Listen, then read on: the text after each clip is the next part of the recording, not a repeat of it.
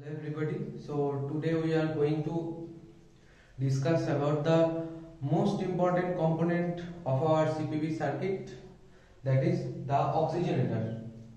Now from the name it is clear that oxygenator is the component that performs the uh, performs the job of lungs that is oxygenation of blood. So the basic of oxygenator basic means the time main two types of oxygenator like that is bubble oxygenator membrane oxygenator these were discussed in the previous session. So in this session we are going to discuss mainly about the membrane oxygenator so we all know from the previous session that membrane oxygenator is of two types true membrane and false membrane oxygenator now why it is called membrane oxygenator? Because in uh, because here oxygenation takes place through diffusion, but there is separation between blood and air. There is no direct air-blood contact. There is some membrane that is separating air and blood, and through the membrane, the oxygenation, the diffusion of gas takes place. That's why it is called membrane oxygenator. Now the concept of true membrane and false membrane. So membrane oxygenator can be divided is divided into two types true and false.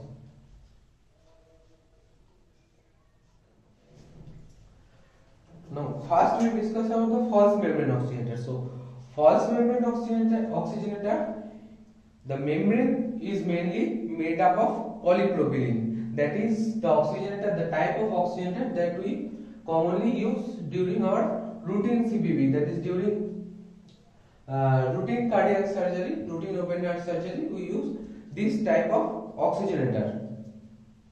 These oxygenator are made up of hollow fibers of polypropylene, where blood travels around the hollow fiber and gas travels through the hollow fiber means there are bunch of hollow fibers like if this is a single hollow fiber there are bunch of hollow fibers and this membrane the hollow fibers the wall of hollow fibers that is made up of polypropylene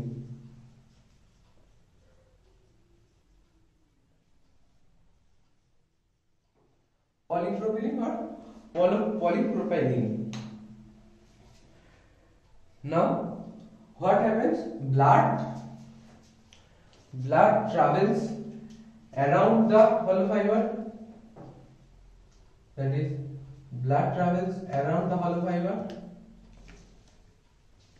and gas travels through the hollow fibers and usually they are they uh, they their flow are in opposite direction to each other this uh, this mechanism is called counter current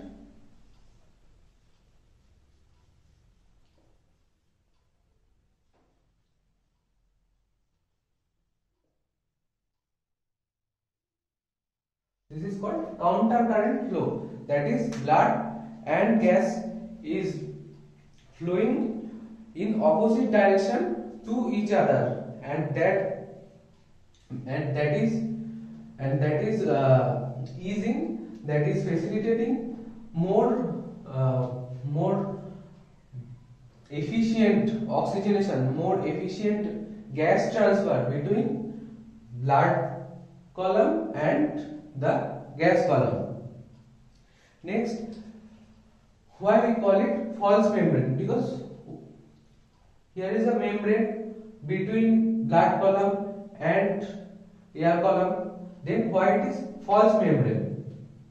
Because the hollow fibers, the hollow fibers made of polypropylene, their membrane is not their membrane are not like solid membrane they are porous membrane means they have pores on their surface. If we enlarge a fiber enlarge a fiber hollow fiber then we will see small micropores in their membrane. The size of these micropores are less than the lesser than the size of blood cells so that blood cells cannot pass through the uh, through the membrane but there are pores. There are so they are they are called microporous hollow fiber false membrane oxygenator you know?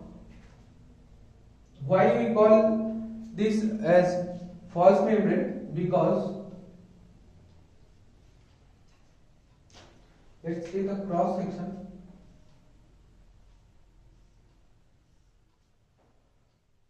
is the polypropylene membrane from throughout outside of the polypropylene membrane blood is flowing and inside the micropora micro sorry inside the hollow fiber gas there is gas flow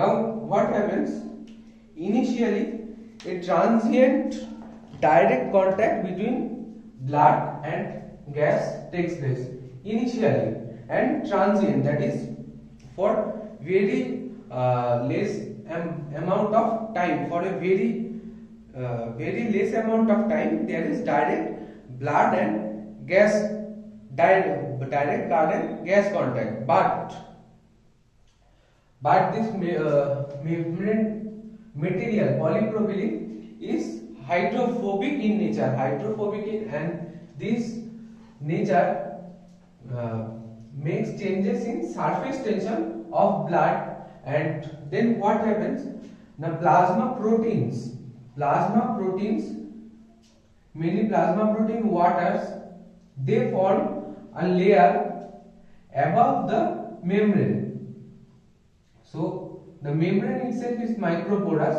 but after a very short duration of time there is a coating of plasma protein. Or plasma protein water content. There is all these micropores are covered by plasma proteins. So then what happens? The gaseous exchange gaseous exchange takes place when gaseous exchange takes place. The actual working membrane the actual working membrane between the blood and air column is not the polypropylene itself but the actual working membrane is the plasma of blood or plasma protein of blood. That's why it is called false membrane oxygenator. Again as the polypropylene is not actually working as the membrane through which blood and through which gaseous exchange takes place but the actual membrane is the plasma protein that is a protein of blood itself is acting as a working membrane who is responsible for the gaseous exchange that is why it is called false membrane তো কি হলো না false মেমব্রেনের ক্ষেত্রে কি দেখা যাচ্ছে? অক্সিজেনেটারের মধ্যে ইউজুয়ালি বাঞ্চ অফ হলো ফাইবারস থাকে, যার হলো ফাইবারসগুলো তৈরি হচ্ছে ফলস মেমব্রেনের আলোচনা করছিলাম আমরা এটা। তো ফলস মেমব্রেনের ক্ষেত্রে কি দেখা যায়? না, এই হলো ফাইবারস এর হলো ফাইবারগুলোর যে মেমব্রেন সেটা তৈরি হয় ইউজুয়ালি পলিপ্রোপাইলিন দিয়ে। এবার পলিপ্রোপাইলিনকে ফলস মেমব্রেন ফলস মেমব্রেন বলা হচ্ছে কেন?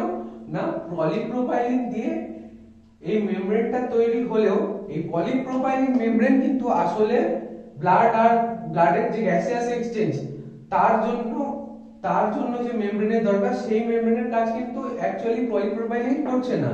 তার বদলে কি হচ্ছে না পলিপ্রোপাইলিন পলিপ্রোপাইলিনের যে হাইড্রোফোবিক নেচার তার জন্য যে ব্লাডের যে সারফেস টেনশন তার যে চেঞ্জেস আসছে, তার ফলে কি হচ্ছে না, এই পলিপ্রোপাইলিন মেমব্রেনের উপর প্লাজমা প্রোটিনের একটা কোটিং করছে, আর সেই কোটিংটা কাজ করছে কিসের জন্য? না অ্যাজ এ মেমব্রেন যার থ্রুতে গ্যাসিয়াস এক্সচেঞ্জ হচ্ছে। তো আসলে মেমব্রেনটাকে গ্যাসিয়াস এক্সচেঞ্জের জন্য যে মেমব্রেনটা কাজ করছে সেটা কে না, সে হচ্ছে ব্লাডের plasma protein but not the polypropylene. So, this is called false membrane oxygenator. This is the concept of false membrane oxygenator. Now in true membrane in case of true membrane the membrane itself uh, acts as the membrane that is responsible or that is facilitating the gaseous exchange and the gaseous exchange in for both type of membrane gaseous exchange takes place through diffusion now in true membrane oxygenator the materials are are silicon or polymethyl pentane for true membrane oxygenator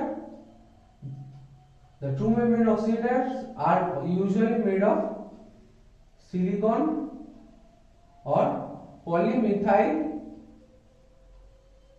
pentene that is PMP. Now we will see the mechanism mechanism of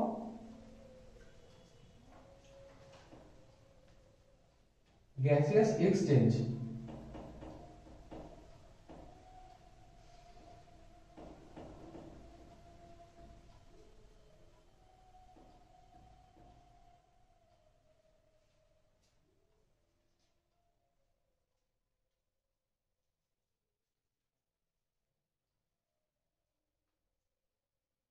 So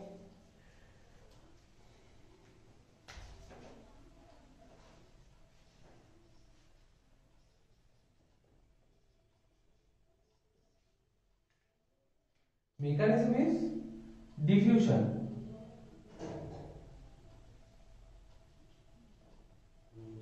For both type of membrane oxygenators that is true, true membrane and false membrane oxygenator the mechanism is diffusion through which gaseous exchange takes place gaseous exchange takes place between blood and gas column and that follows the Fick's law of diffusion. Now so the mechanism of diffusion follows the Fick's law or Fick's principle of diffusion. Now what is Fick's law of diffusion?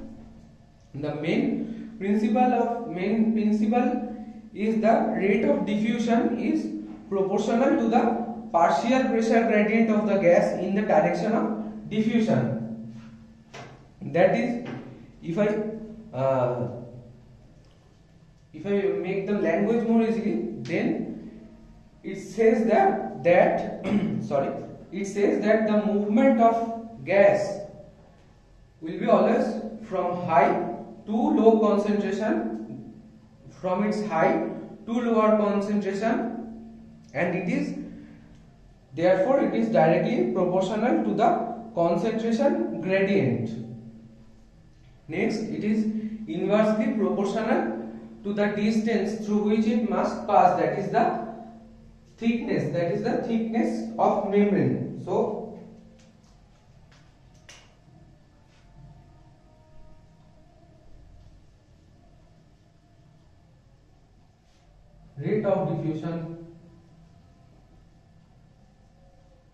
is proportional to the concentration gradient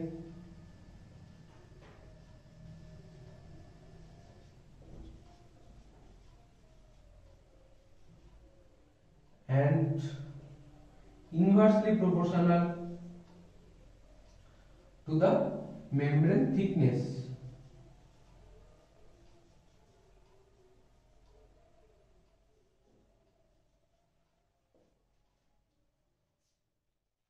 This is Fick's law in a very simple language. Next we will see this chart. Uh, this chart is actually uh, some informative. You don't have to uh, write down it in your examination, but just for information, it is a comparison between membrane lung and natural lung. So we'll compare its surface area, blood path, blood path width, blood path length, membrane thickness and maximum oxygen transfer. So for uh, surface area for membrane lung, that is for membrane oxygenator, it is only 0.6 to 4 meter square, whereas for natural lung, that is for the native lung, it is the surface area for gaseous exchange is almost 70 meter square, so it is much higher than the membrane lung.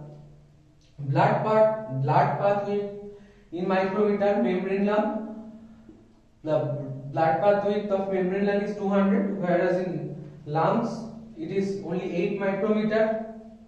Length in membrane lung it is 2,50,000 micrometer, whereas in normal lung it is only 200 micrometer.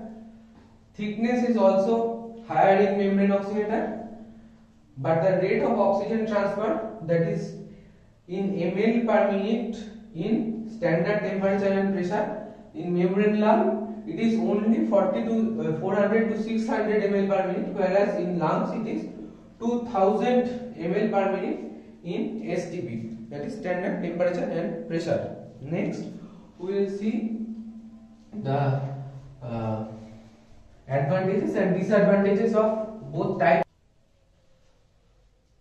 now we will see the advantage and disadvantages of both type of membrane oxygenator.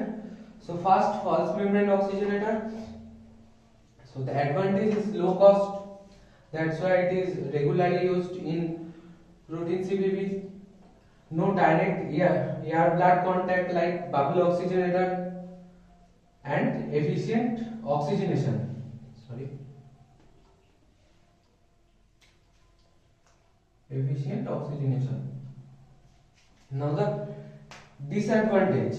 The main disadvantage is it cannot support long term CPB, long time CPB and ECMO. Why? Now in case of false membrane oxygenator, we have seen that the membrane through which gaseous exchange takes place is not actually the membrane made of polypropylene that is the the material of the oxygenator but the actual membrane is the plasma protein itself.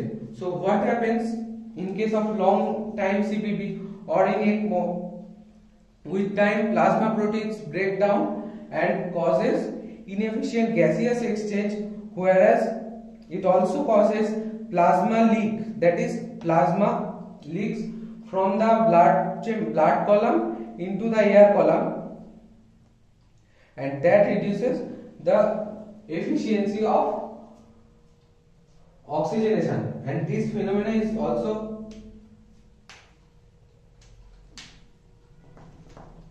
this phenomena is also called as oxygenator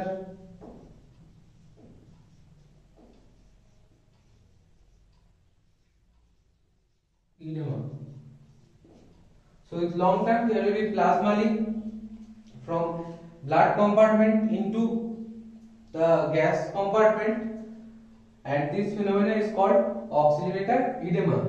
Next is increased hemolysis and platelet activation because of the artificial surface of the membrane and increased pressure drop.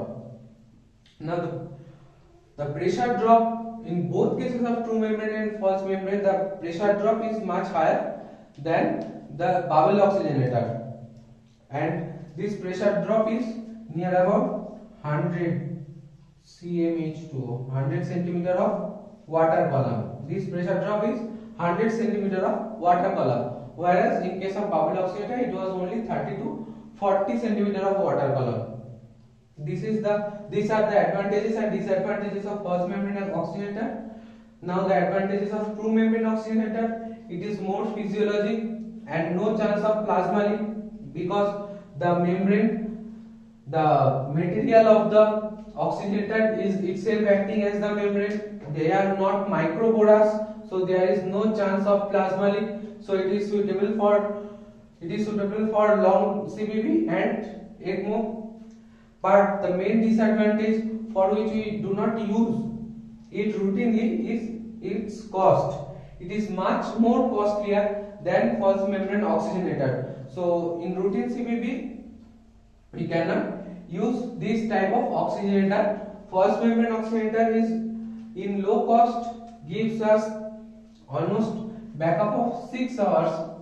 We can use false membrane oxygenator up to almost 6 hours without any complication. So in routine CPB, we usually use the false membrane oxygenator. This is all about the oxygenator that is the most important component of our circuit. So this is all for the session and thank you goodbye stay happy.